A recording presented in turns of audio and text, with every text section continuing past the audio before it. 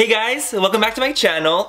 so today's video is going to be another fall tutorial. I'm so into fall and autumn mode right now. Like I just want to do everything that's fall inspired. So I wanted to do another fall look. But today I wanted to be a little bit different and do some color. I haven't done anything like colorful colorful wise in a while so I thought why not incorporate a green olive like smoky eye. It's still incorporating color but it's still so fall appropriate and so beautiful and I think that this look turned out really really nicely. Forgive like if you see any kind of like cracking in my face, my eyes and my nose got really really really really runny throughout this video because I don't know my allergies were starting to act up really badly and so like I just couldn't stop anything like all my orifices were just leaking.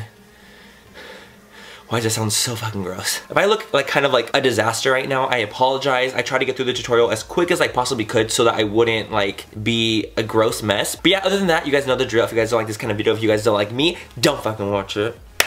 Just wanna spank that ass. But if you guys do like this video and you guys do like me, please like this video and subscribe to my channel if you aren't already and comment what you guys wanna see next. But yeah, let's go ahead and get into this full face tutorial.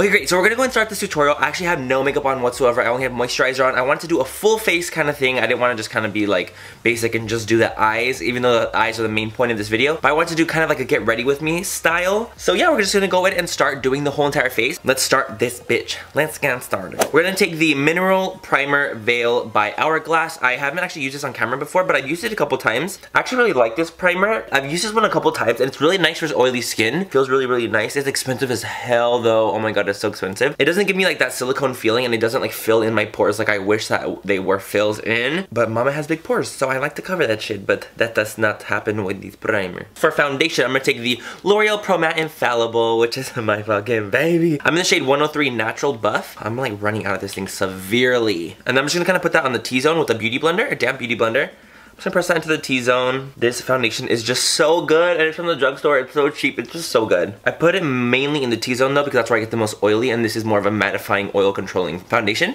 T-zone covered in this foundation and then everything else is left bare. For the rest of my face, I'm gonna be going in with the Makeup Forever Ultra HD stick. I use this in my Makeup Forever tutorial. And I'm just gonna kind of cover up the rest of my face, mostly on the cheeks with the stick. This is like a full coverage foundation that gives you more of a natural finish. I'm just gonna put that on the perimeters of my face. The reason I'm avoiding the T-zone is because this does not help prevent my oil whatsoever. I get still oily as hell when I use this. Mix and match people, mix and match for whatever you need. On the ears too, perfect. Now my base is based up. So next for concealer, we're gonna conceal these fucking bags. These bags are bad. They are not Chanel. Okay, so I'm gonna take the Maybelline Masterclass in the shade Light. I'm gonna take that underneath my eyes. I'm just gonna go right from the tube. I love this concealer. And I'm also gonna highlight with it as well. It's just so good. It's like full coverage, super brightening, but you need to set it extremely fast. Like you can't like wait to set it because it will kind of get creasy. And then I'm gonna mix that with the MAC Prep and Prime in Light Boost just to give me some more brightness underneath the eye.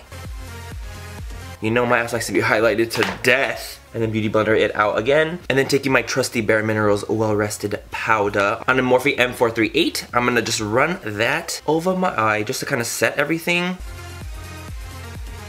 I'm so well rested. that is a huge difference. Look at that shit. Look at this brightness and happiness and awakeness and then look at that fucking shit. It's less sleepy. So now for the highlight, I'm gonna go in with just like a cream highlight before I go in with powder ones later. I haven't powdered my face or anything like that yet, but I'm gonna take the Jouer Champagne Highlighter. I just got this recently and I haven't tried it yet, so I'm just gonna try it. And I'm gonna use my ring finger and just kind of press that over usually where highlights go. It's a very pretty, glowy, rosy champagne tone. It's very natural though. This like by itself is very natural, I think. It just gives you more like a glow from within. Actually really quite stunning. Wow. Very beautiful. I'm impressed. Hmm. I'm gonna go and powder my face just because I wanted to get that face done and beaten to death and it's pretty beat. I'm gonna take the MAC Mineralized Skin Finish in medium with my Morphe G0. You guys know the drill with this. It's just my favorite brush. It's my favorite powder brush of life. I love the MAC Mineralized Skin Finish powder. It literally gives you like a skin finish. I think it's absolutely beautiful and it gives you the most natural looking powder finish. Even if you're dry, like I think people, even people that are dry would love the MAC Mineralized Skin Finish. Kind of expensive. It's like 32 bucks for a powder. I was like, What? Hopefully you have a friend that works at Mac and can get you that discount, bitch, because you know how that is. Are you guys excited for Halloween time? Like, I love Halloween time, but I suck at doing Halloween makeup, so I never really do, like, Halloween shit, you know? I'm super excited, though. I'm super stoked for Halloween. I cannot wait. It's gonna be so fun. October is such a full-ass month. Like, I'm so nervous for October because it's gonna be so crazy. I think I'm gonna be going to Generation Beauty. I'm not really sure yet, but I think I am. There's Halloween, obviously. It's just, it's gonna be a crazy-ass month. I can already tell, like, October is gonna be a fucking madhouse, but I'm excited. What are you guys most excited for? Like, whenever we hit fall time, like, what, what do you guys like to do? Like, Halloween? Do you guys like fall? Do you guys like Thanksgiving? Like, what's your kind of, like, thing? Because I love fall time. I feel like once we get into fall and autumn, it's, everything's festive and, like, happy. I don't know, weird. fucking weird. Now that we are powdered, let's go ahead and bronze up the face. I'm gonna take Hoola of course, on my Morphe E2, another of course. Damn bitch, I am a fucking creature of habit. When I find products that I love, like I love them and I cannot stop using them. Like it's just how I've always been. so I'm just gonna go ahead and bronze up the face using Hoola. I love Hoola bronzer so much. Fucking good. I think I want to do like a Snapchat Q&A. I feel like a lot of people have been doing like Snapchat Q&As and like they've been going around for like a while now and people are doing them, but I don't know if people would want to like people would want to see that. Do you guys want to see a Snapchat Q&A? I just did a Q&A like a couple weeks ago. That's the problem. So maybe I can do one like in a couple months or like in a couple weeks when I my other Q&A is not so fresh. I don't know. What do you guys think? Okay, so this is the thing. A lot of people always ask me like, Manny, why can't I send you any snaps? The reason you guys can't send me snaps is because I have it set to private, to like people that only friends with can send me snaps. And the reason is because I get a lot of snap views, okay? So when you get a lot of snap views and you have your snap set to um, public, your Snapchat will usually freeze because you're getting a lot of Snapchats, you know? So that's kind of the reason why I haven't been able to really put it on public because my Snapchat will freeze and I can't Snapchat. Fucking Snapchat needs to like figure their shit out. You feel me? Just nice and bronzy and bronzy and bronze. I hope this video is not too long. I just feel like I'm talking and I'm very talkative today and I just want to like talk to you guys more. So forgive me if it's too long forgive me. I'm gonna go in with some blush. I'm gonna take my Morphe E3 brush and Video Blush by Urban Decay. I've never tried any of their blushes. I just got some of them recently and I really wanted to try it out. Oh, that's pretty. That's a nice, like, it's like a flush color. It's like a rose pink. Rose pink, there we go. I'm like, what the fuck color are you? Okay, so now I'm gonna go in with the Shade and Light palette by Kat Von D. I'm gonna take my favorite, like, contouring brush now of all time, the Makeup Geek Chisel Cheek Brush. Basically, this brush, I'm gonna take the shade. This brush has really revamped my contouring who is calling me? The reason why I love this brush, the bristles are extremely soft and the length of them is perfect. It's a it is the perfect brush. Basically, okay, so you guys know like about the Ita brush, the NARS Ita. It's a really extremely popular brush that is used for like bronzing and contouring, right? I have the Ita brush and I really don't like it. I've talked about it on my channel before, like that I don't like the NARS Ita. Honestly, when I first tried it, I was expecting something like life-changing. I thought it was gonna be amazing and I was like, oh my god, I cannot wait to try this out hated it. Like I literally hated it and I was like, what the fuck? Why do I hate this brush, you know? Finally realized that the bristles were just not the kind of bristle I like. I don't like tough bristles like that. It was a really tough brush for me to use. So when I received this brush, this is exactly everything that I wanted from the Ita. Like that's why I like this so much. I feel like this brush has like really revamped my contouring game because it's just so ridiculously soft. It's so good. Honestly, I don't even know what to say about it like without fucking sounding like a cheese ball, but it's seriously amazing. Base is almost done. Now I'm gonna highlight for reals like on top of my highlighter. I'm so excited to finally be able to use this on camera because they're actually out now. I felt so bad using them before. This is the Anastasia So Hollywood highlighter. I've been using these highlighters for the past couple months and I am obsessed. I'm gonna take my Morphe M510 brush and just dip right into it and just start highlighting with it. I'm obsessed. Maybe I went with a little bit too much. Oh my god, I was like, why is this looking so crazy right now? But I just realized I have a cream highlighter underneath it. Let's try to blend a little bit of that out. Perfect, so we have the base of the face completely. Ooh, maybe I should do a little bit of nose contouring. I've been really into nose contouring lately. I don't know why. It's just been like something I've been wanting to do. But I've been using this little Makeup Geek brush. Makeup Geek brush. and using this little shade over here. Dusting off a very little bit. I just want to use a very small amount of it. And I've just been kind of contouring my nose with this brush. Just very, very, very lightly, like nothing too crazy because I don't like to do a heavy nose contour because I feel like it can make me look real, like fucked up real quick. but this brush is pretty freaking perfect for a nose contour because it's so thin, but like the bristles are so nice, like they're just so good. Boom, look at that snatched nose. See, like that was literally like 30 seconds. Cool, so now that we're done with the face, we're gonna go and do the eyes now, and let's go ahead and get ready for that eye. so I zoomed into the eyeballs so we can focus on the eyes so we can finish the eyes. I don't know why, I don't know why I suddenly go into accents sometimes. I just do. I'm really weird. I love accents for some reason.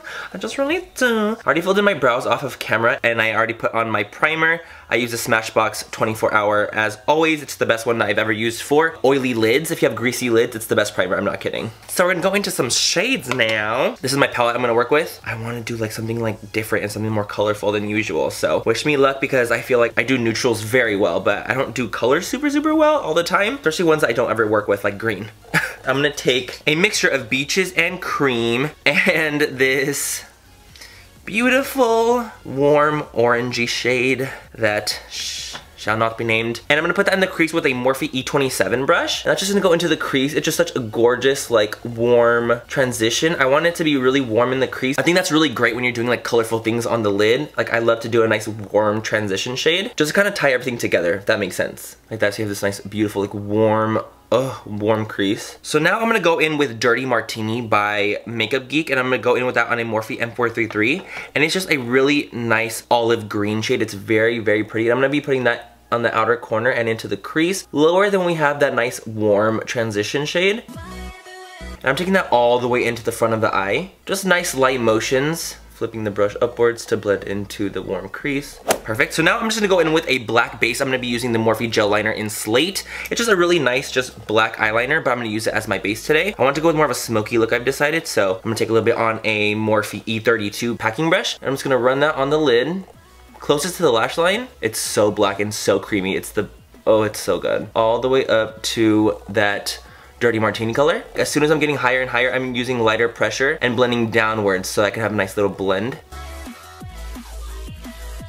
So we have a nice black base down, looks, looks like that. I'm gonna grab a mixture of high tea and dirty martini on this just Sigma E32 brush. It's like a nice just packing brush. I'm gonna pack that on the entire lid to give me a nice green, olive green base. I'm using the black base down first because I like the way that a black base gives you dimension for this kind of color. It just, it makes it look so beautiful. And I'm taking that right up to the dirty martini color. Just concentrate on packing on the color. You should have something like this. It's a nice green olive shade. And ding! We're gonna take that M433 again and then mix Dirty Martini and High Tea on the brush and just go into that crease and just blend away into the warm orangey shade that we have going on. I was like so nervous to do this too. I'm like fucking olive green, smoky eye. What the hell who do I think I am? And then I'll go back in with that nice warm shade with Beaches and Cream mixed. Just kind of go over the edges still slightly. I still want it to be really warm and I want to make sure I don't lose any of that warmth in the crease because I don't like it to be too cool toned or too green, I guess you could say. I want to have some nice depth and dimension and you should have something like this so far. Yeah, perfect. So we have both of the tops of the eyes done. It's nice and blended. I think it looks really, really nice. And I feel like it looks very festive. It's very different for me. I don't really ever do like green or blue or things like that, but I really want to start venturing out into that world. And I think it looks really beautiful, especially with that like nice orangey warm transition and like a nice dark lid. I love it. I love it, I love it, I love it. We're gonna be taking the Tarte Inner Rim Liner. It's just like a black eyeliner and I'm just gonna line the waterline. This, I swear, this is like one of the creamiest liners I've ever freaking tried. It is so creamy. And then tight line as well. So I'm just gonna take a little bit of the black along the lash line. Make sure you coat your lashes too with the eyeliner because you don't want any like little like missing like skin spots, you know? I know it looks really janky as hell, but that's okay because we're gonna fix it. So now I'm taking a Morphe M508. I use this brush all the time. And I'm just gonna smudge out. The Tarte liner is very, very creamy, so it blends out really easily. And now, of course we need to be going over it with green again. I'm gonna take a mixture again of Dirty Martini and High Tea. I'm using Morphe E36 and just blend that over the black. I want it to be exactly the same as it is on the top. And this will take a little bit of time just to cover all the black and then take that nice orangey shade again and then go ahead and blend out that dirty martini. Just some nice warmth to give it more dimension not make it look so harsh and stark you know what I mean Okay, so basically I had to like turn off the camera because my eyes were going crazy. Like I, my allergies started acting up really bad. My nose started running really bad and my eyes started watering. So right now I have a spot in my eye that will not take liner. So I'm just gonna skip past it. I mean, I've been waiting for like 10 minutes to like let it like subside so I can put eyeliner there, but it just will not take whatsoever. It's too watery. So I'm just gonna have to fucking deal with it for now. Um, it just, shit happens. I went ahead and I applied mascara off camera just because I didn't know like what the fuck to expect this eye. So I did that off camera. So I'm gonna go ahead and apply some lashes um, because this eye is, is, much more smoky and intense. I'm gonna be using my Bella lashes from New Balance. These lashes kill me. They just make everything so much better than what it was originally basically. I totally forgot to do this last step, but I'm gonna take Shimma Shimma as my highlight on a Morphe M326. and I'm gonna put that on the inner corner of my eyes, just to really brighten it up. I Whenever I'm doing a really intense smoky eye, I wanna go really heavy with the um, highlight on the inner corner and the eyes, just because I feel like it really it really brings the look together. A little bit on the brow bone as well, just a smidgen. And now the eyes are officially complete. I'm gonna go and zoom you guys in to see what they look like.